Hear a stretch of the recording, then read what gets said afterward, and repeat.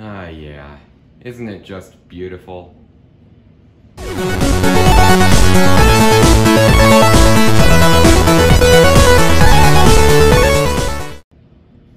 Hey guys, Sir Mikay, and today we're going to be doing a video review on the Nerf Elite Rough Cut. Let's get right into the review. External overview, starting up at the front. There's no one-strike barrel lug, but there are eight exposed barrels for you to front load. So you just load in your eight darts, prime it, and then you're ready to fire. Above that is the front iron sight corresponding with the rear one. If I can just show you, look closely, and yeah, they line up pretty well. Below that is the priming handle. Pretty smooth prime, fair weight, fair draw length. I like this priming handle a lot. It's very easy to use, and because it's a pump handle, it's also very quick. Above that, um, moving back is a tac rail for you to slide on any attachments you want. Preferably an optic, but there aren't really any optics that go well with this. Um, other than a red dot if you count it. But moving back, we have the rear iron sight, as I just showed you. And behind that, we have a sling mount. So you can attach a sling or a lanyard. And um, on either side of that, we also have a couple of priming indicators. So if I prime it, um, each barrel has its own priming indicator. So um, when it's orange, it's primed, and when it's black, it's not primed.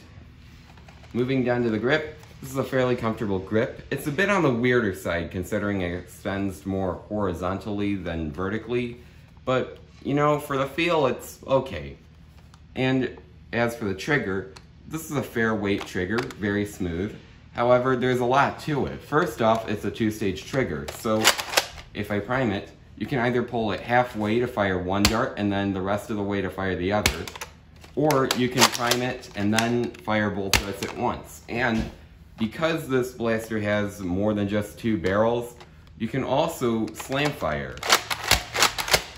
like that. And then at the end of the grip, we have a sling attachment point. Anyways, that is it for the external overview. Let's see it fire. Starting off with the two-stage trigger.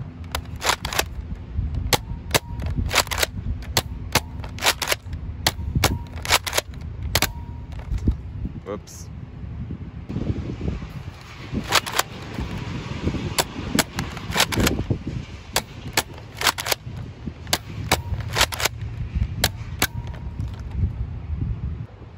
Now firing both darts at once.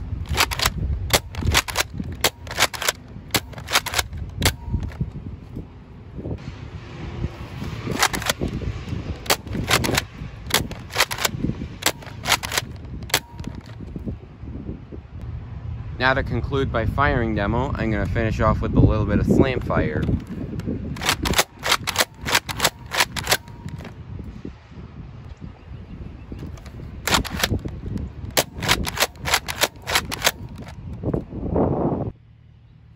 So, what's my overall opinion on this blaster? Definitely very positive. It does everything it's supposed to. Smart AR works just fine, as does the two-stage trigger. I've been told it's a little touchy, but that can be easily beaten by just putting a little more of your finger into the guard. And yeah, I really like Slamfire too. The fact that it gives you four shots with Slamfire, both of which fire two darts at once, that is very nice. And you know, I just really love shotguns in general. Um, so yeah, this is definitely gonna be one of my go-to primaries. Yeah. Anyways, that kind of wraps up my review on it. Um, so should you buy it or no? Definitely get one from wherever you can.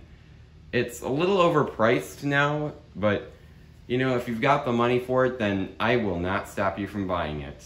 In fact, I will actually encourage you to buy one of these because they are great.